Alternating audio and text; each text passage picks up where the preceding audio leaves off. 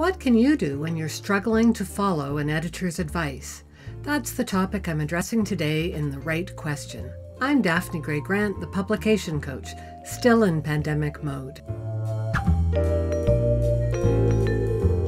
I have a question from Philip Belson, a writer based in Antwerp, Belgium. Here's what he's asked by email. I'm writing my first novel and I'm in contact with an editor from a good publishing house. She's very interested and has sent me her first feedback, but now I'm struggling. I feel a lot of resistance against some of her suggestions.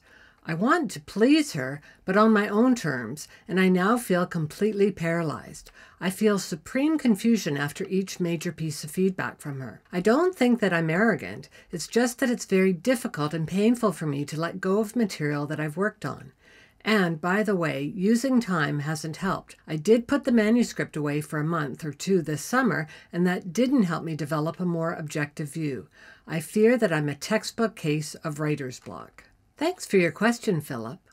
I don't think you're being arrogant either, but it's important that you understand both the advantages and the disadvantages of working with an editor. Let me walk you through both sides of the ledger. To get the ugly out of the way, let's start with the negatives. First, it's surprisingly difficult to know if your editor is a good one even if she works for a major publishing house. Just as there are good doctors and bad doctors, and good lawyers and bad lawyers, there are also good editors and bad editors. And here's what makes matters even more challenging editing is not a matter of right and wrong. It's a matter of taste. If your editor has radically different tastes than you do, you're bound to come into conflict. Second, Matters of personality may be playing a role. Some people are friendly and agreeable, while others are curt and dismissive. If you have an editor with few people skills, that may be part of the issue. Third, and I know this is deeply ironic,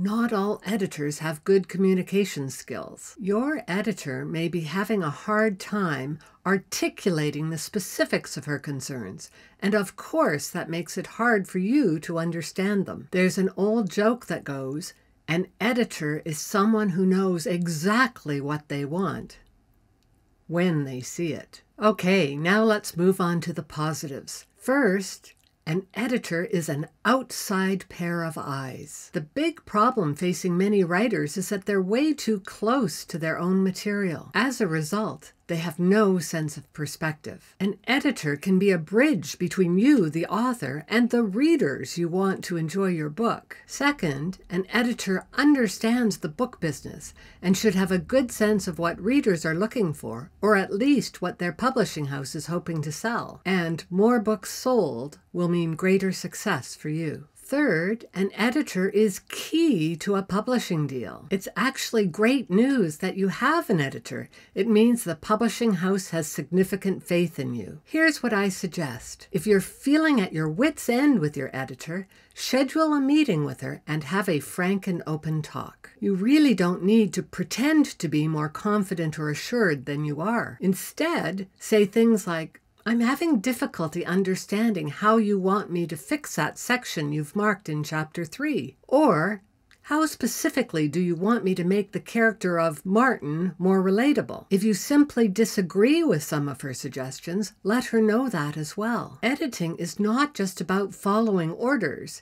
Instead, you should view it more as a type of negotiation. Editors are meant to help you achieve your goals. You should never see them as an enemy standing in your way. Finally, let me wrap up with a quote from the English novelist Matt Haig.